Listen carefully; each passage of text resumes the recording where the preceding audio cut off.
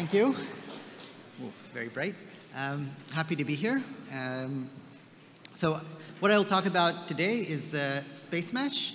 So this is a race-free consensus based on proofs of space-time. I'll talk about what all that means.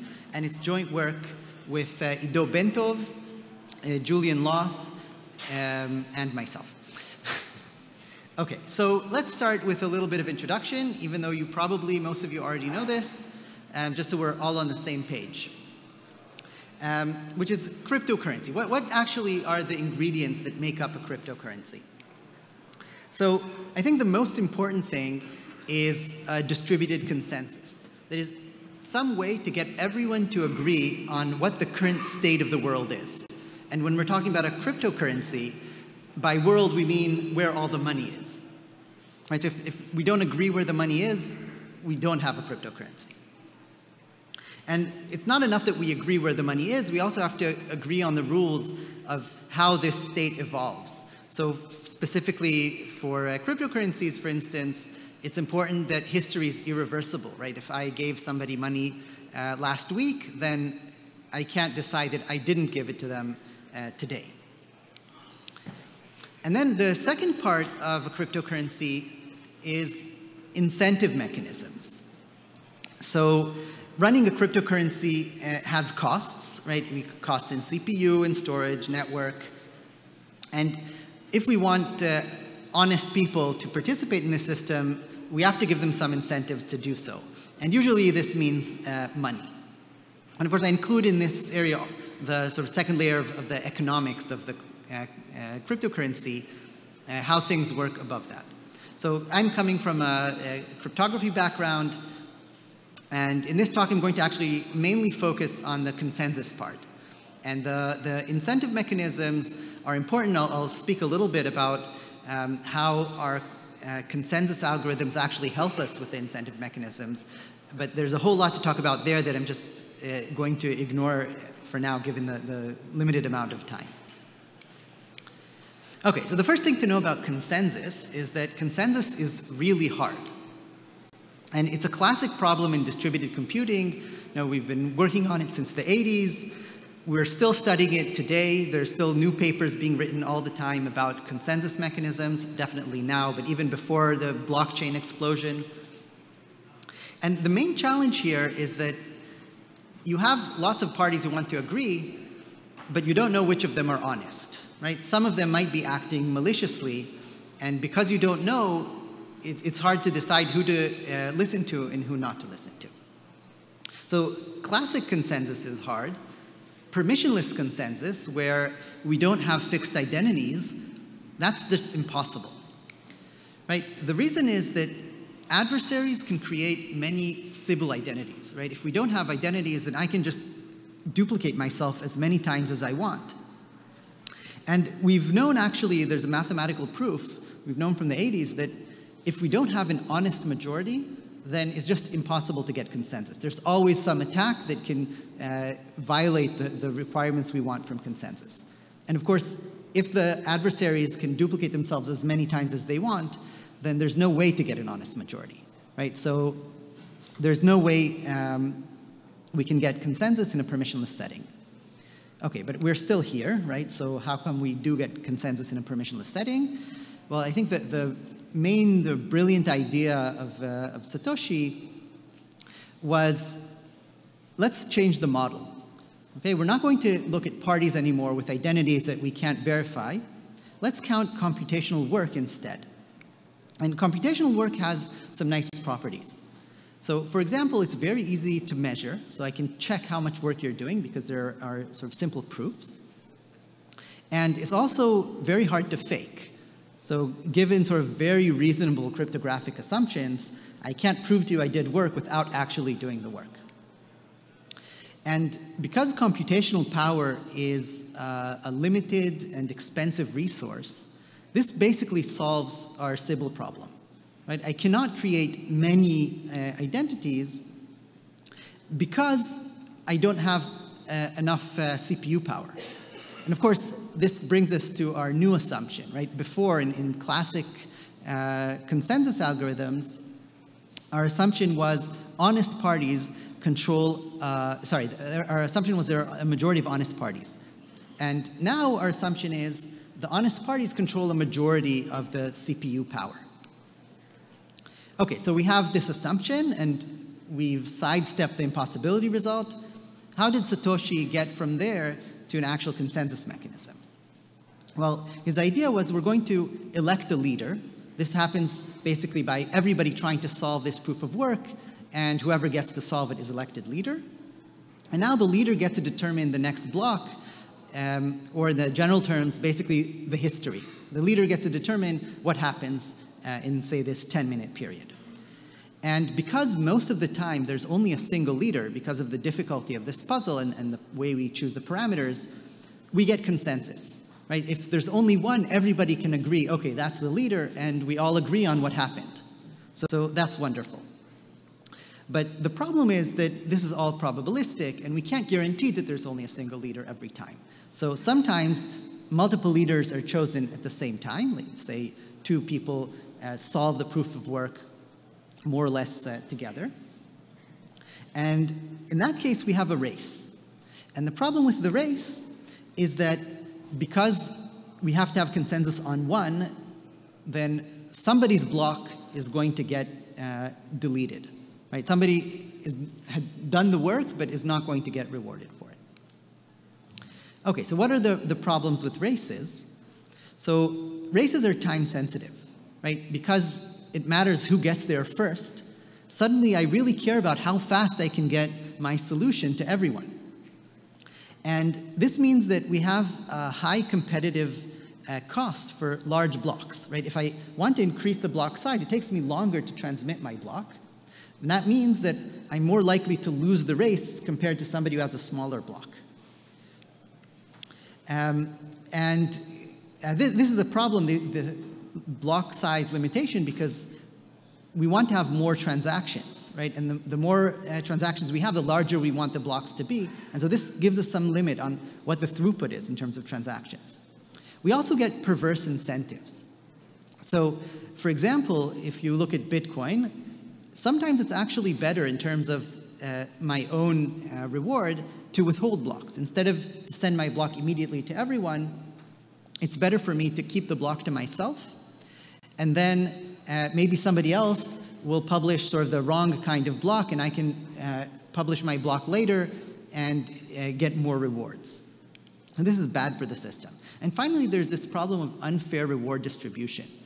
And so one thing you can see, for example, is that if I just generated a block, I know the contents of this block before uh, I transmitted it, because I just generated it. So I know it before everybody else. I get a head start now on generating the next block, which means that if I have a lot of computational power, I get more than my fair share of the reward, because I'm getting a head start uh, all the time. Okay, so we said races are, are bad, but proofs of work themselves are also bad. Why? Because computational power is an expensive, limited resource. And here, it's especially important to note that it's expensive not just in terms of monetary costs, but also in terms of environmental costs, right? I think Bitcoin is uh, equivalent to something like a medium-sized country by now. That's a lot of carbon in the air and a lot of sad polar bears. Um, and this is something that's inherent to proof of work. We can't take proof of work and say, well, maybe we'll try to work a little bit less because the whole point here is that we need the honest miners to have a majority of the power. And if they stop working, only the adversaries will keep working, and so we will violate this honest majority assumption. And finally, because it's so expensive in monetary terms, then we're going to be paying this in transaction costs because we have to reimburse the miners who are doing all this work and the way we reimburse miners, at least in a steady state where we hopefully will have a, a lot less speculation, um, the way we reimburse them is through transaction fees. Okay, so this brings us to Spacemesh and what our motivations are. So the first thing is that we want to replace proofs of work with some different resource, something that's hopefully more environmentally friendly. And the second thing is that we want to remove this leader election requirement. And this will give us a, a, fair reward distribution that's linear in the amount of resources you have. It'll allow us to increase the throughput uh, quite a lot because now we don't don't have this time sensitivity, so we can make larger blocks, and we'll see we can actually make more blocks at the same time. And it gives us these really nice incentive compatibility properties. So we can basically show that if this protocol has uh, no races, if it's race-free, then it's actually uh, incentive compatible. It's, it's good for you to follow the protocol and to publish your blocks immediately.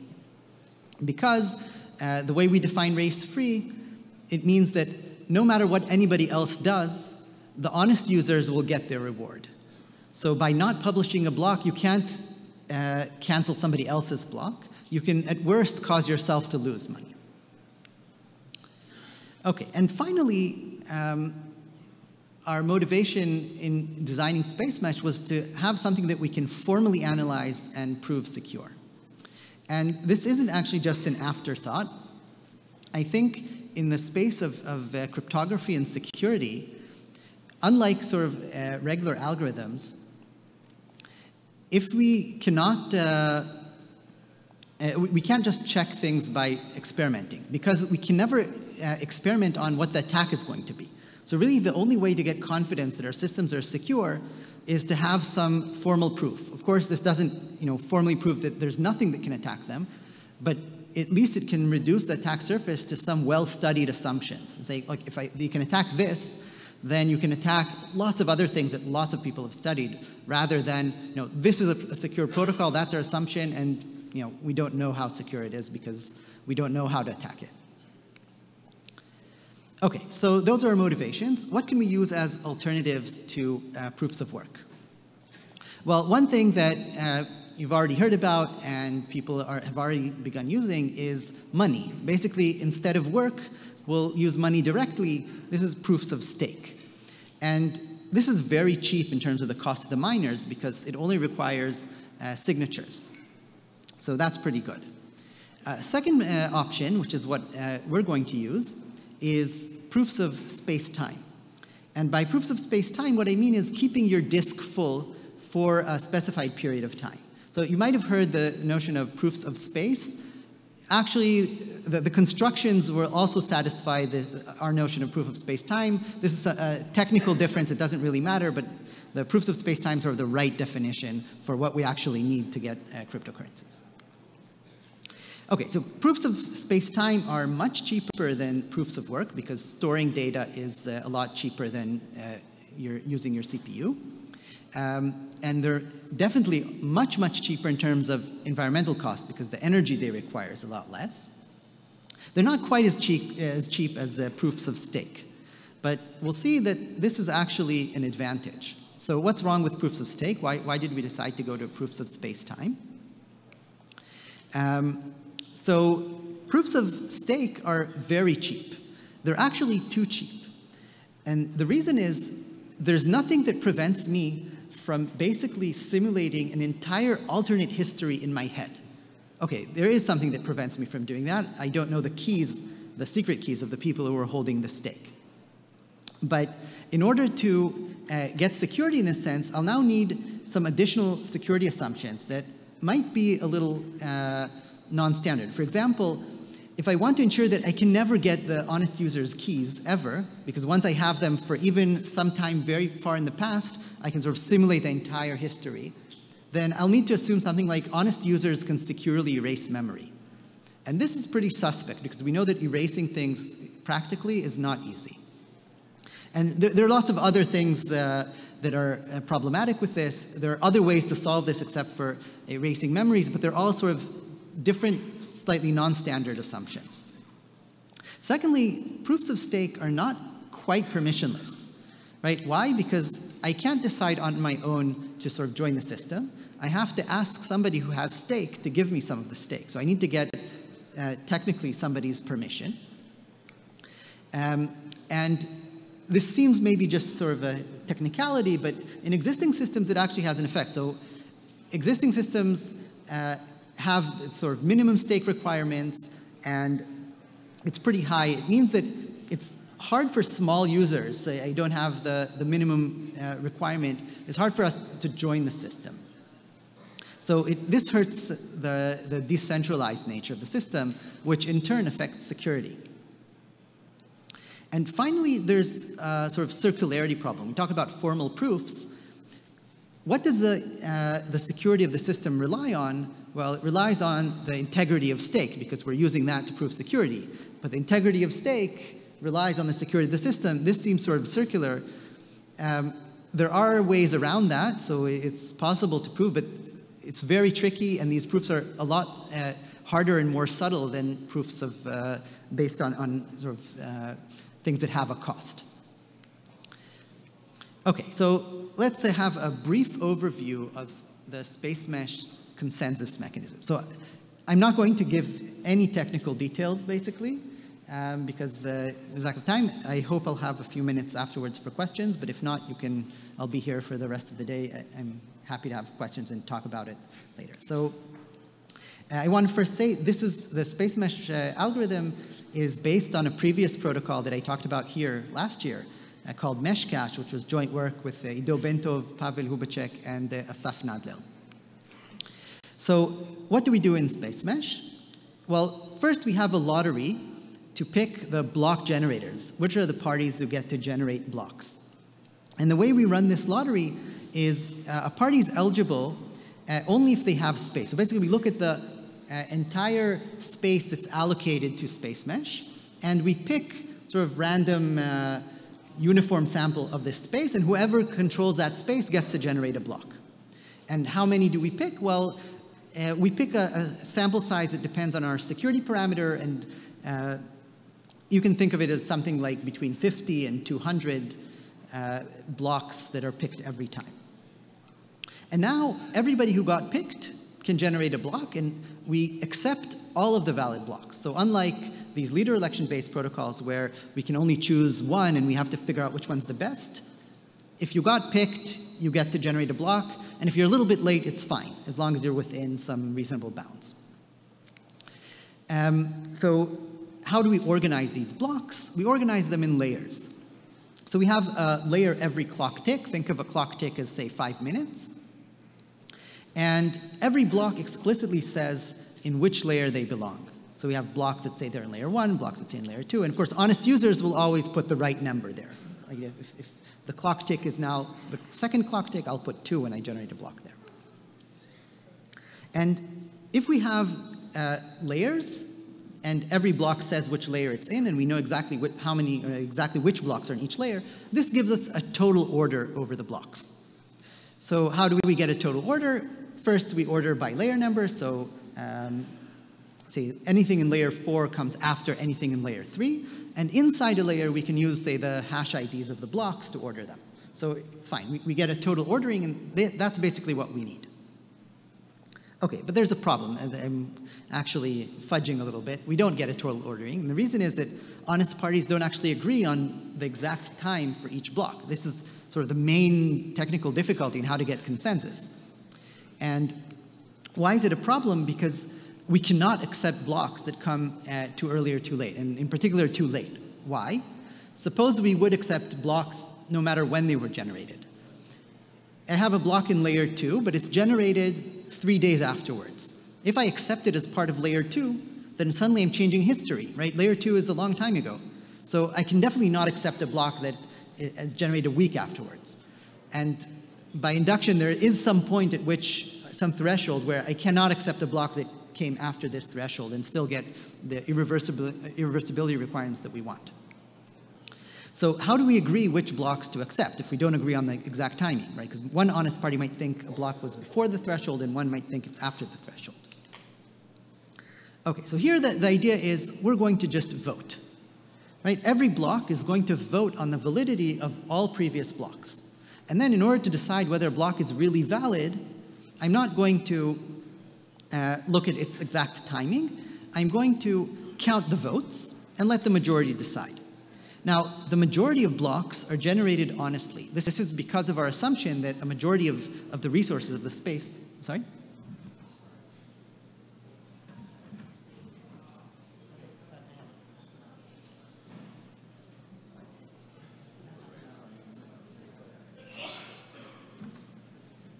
Um, sorry. Um, so uh, a majority of the blocks are generated honestly because the majority of the space is controlled by honest blocks. And when we sample randomly, almost always we will get a majority that is honest. So uh, this means that if all the honest blocks are voting the same way, when we look at the majority vote, it's always going to be the one that we agree with, right? And uh, this means that uh, the new blocks will always be uh, voting according to the consensus on old blocks.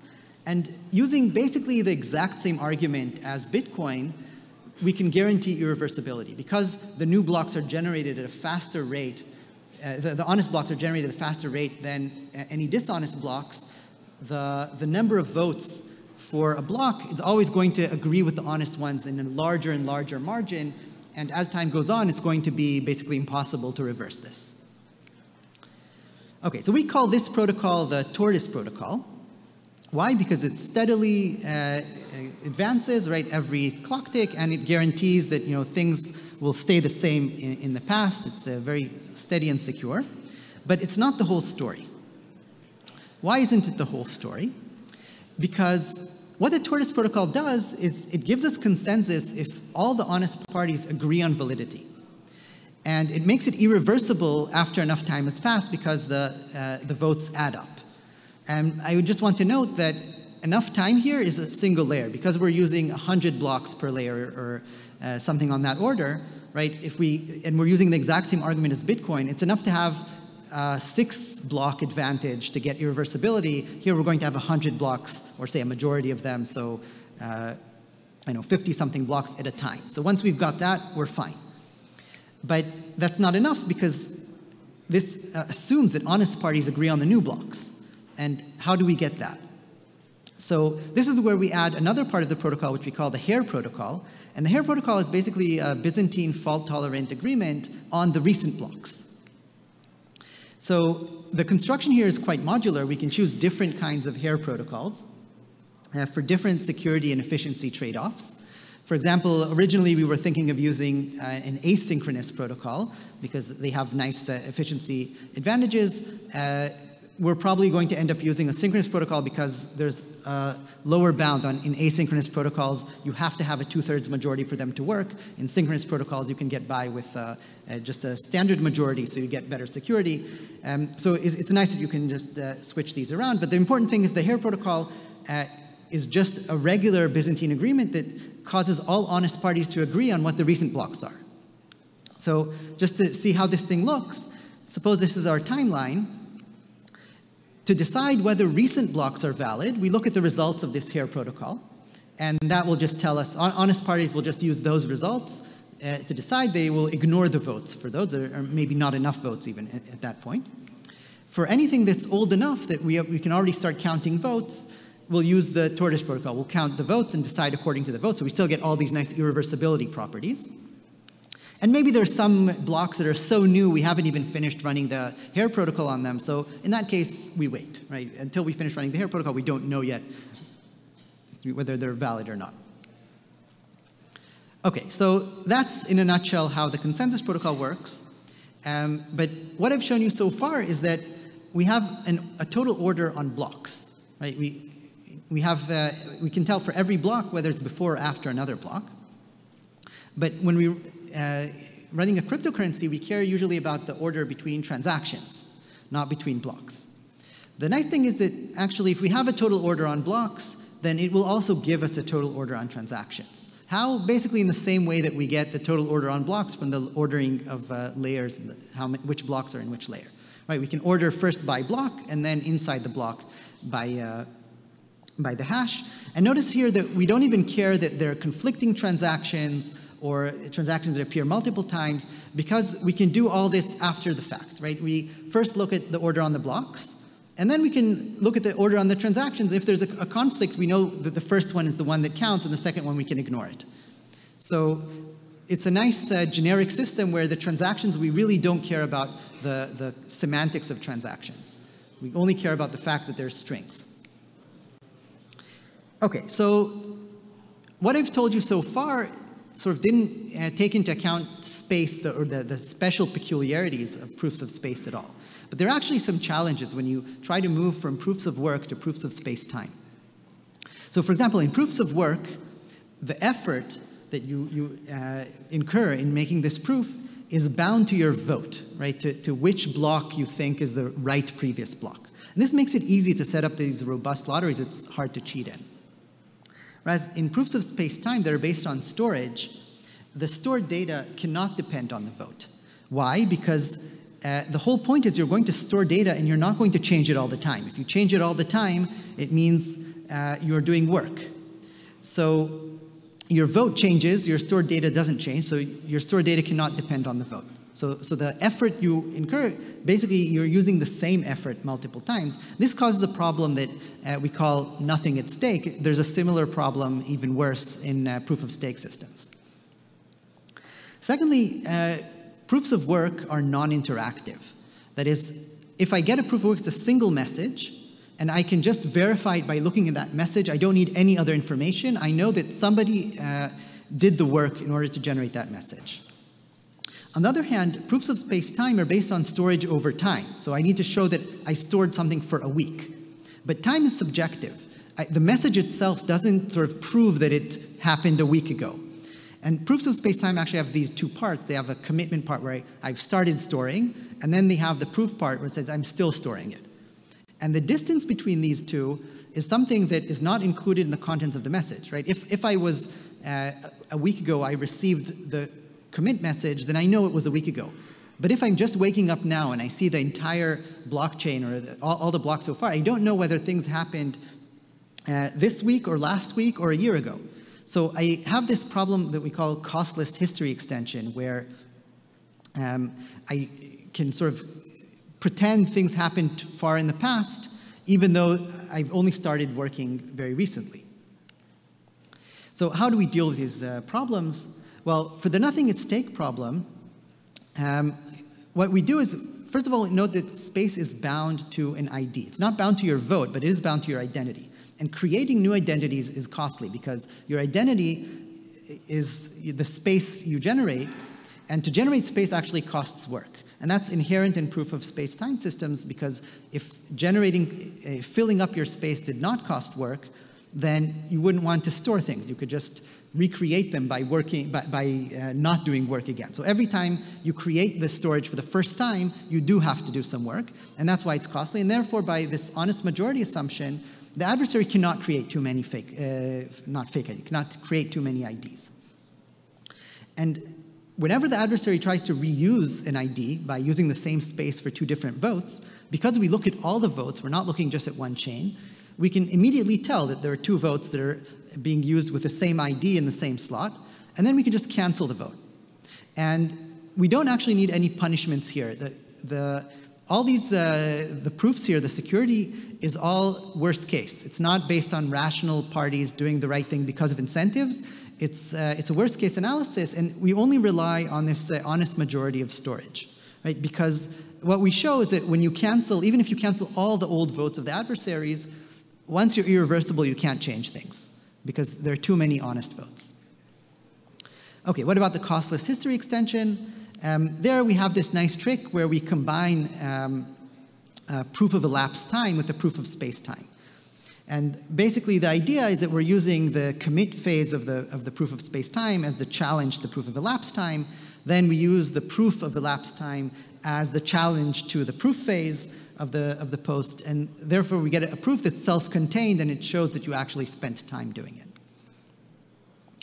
And finally, I want to say another property that we get uh, that I think is very important for uh, cryptocurrency systems is something that I call self-healing, which is if something bad does happen, right, everything we prove that, you know, with high probability, 2 to the minus 40, bad things will never happen.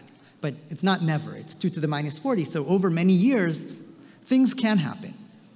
And the system can actually recover from a temporary violation of assumptions. And the way we do this is that we add an extra ingredient to the tortoise protocol that's taken from traditional uh, Byzantine agreement protocols, which is a common public coin. And basically, we assume that there's a coin that's published uh, at the beginning of every layer. We don't assume it, we show how to do it, but uh, for now, let's assume it. And now we modify this voting rule so that instead of just looking at the majority, um, we sort of have three ranges. If there's a large majority, then we use the majority, but if it's small, we use the coin. And basically, the idea is if the coin is in the right direction, then everybody will agree, and that happens with high probability within only a few layers. So we get this self-healing as well. Um, okay, due to lack of time, I'm not going to talk about how we get the tortoise to be more efficient, but what I described now is horribly inefficient uh, up till now. Uh, of course, that's not what we actually do. Um, we actually do things that are uh, a bit better. Um, and additional things that I'm not going to talk about is how we get the tortoise to be even better than that, um, how we sample the committees. There are a lot of details here that we uh, have in the protocol that we just cannot go over now, and how we construct the HARE protocol itself. Uh, and of course, as I said, all of these incentive structures, there's a whole extra layer here that also has a lot of work in it um, that we'll ignore for the purposes of this talk. And finally, the security proofs, which are very important, and uh, I will not even give you a hint of how they work. Thank you.